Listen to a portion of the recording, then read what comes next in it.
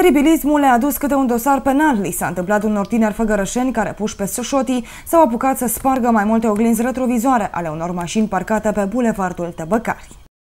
Seara și-au parcat mașinile liniștiți, dar dimineața oglinzile retrovizoare nu i-au mai ajutat să iasă din parcare. Li s-a întâmplat mai multor făgărășeni care locuiesc pe bulevardul Tăbăcari.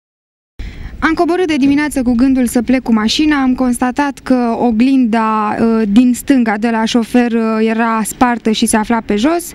Am fost la poliție, am depus o plângere, acum aștept uh, să vedem ce se întâmplă mai departe. Cineva i-a văzut pe tineri în plină acțiune, așa că polițiștii făgărășeni i-au luat ca din oală. Deci în uh, noaptea de 1 spre 2 uh, august, în jurul orei 2, Poliția Făgăraș a fost uh, sesizată despre faptul că pe strada Bulevardul Tăbăcar din Făgăraș, doi tineri distrug oglinzile retrovizoare ale unor autoturisme.